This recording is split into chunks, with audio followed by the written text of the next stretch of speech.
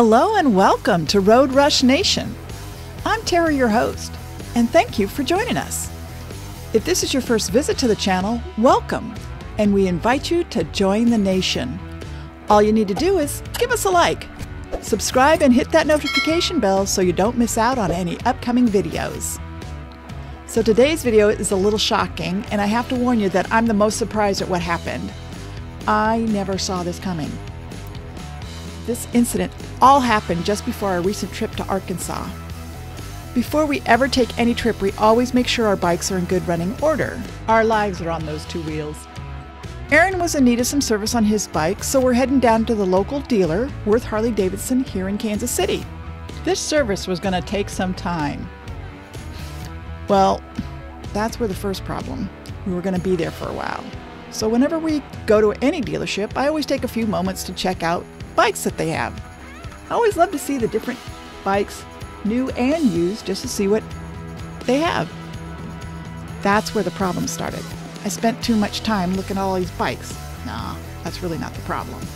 The problem was the salesman walks up, notices I'm looking at this awesome new Street Glide, and we start talking about it.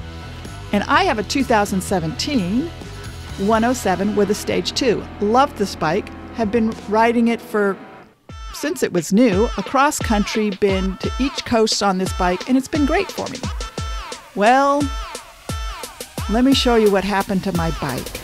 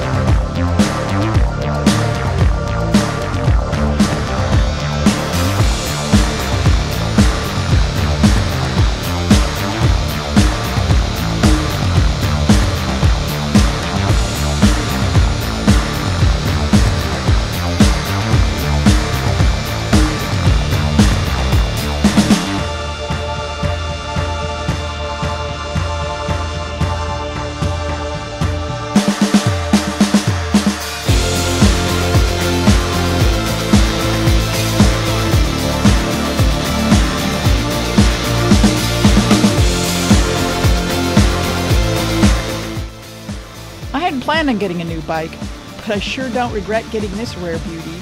There's only 500 in the world.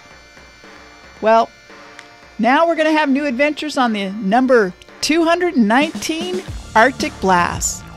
Thanks for coming along and checking out my new ride, and hope to catch you on the highways. Ride safe.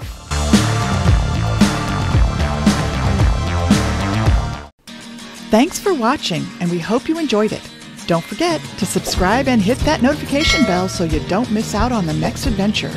Take care, ride safe, and enjoy life. Remember, life's too short, so let's go ride.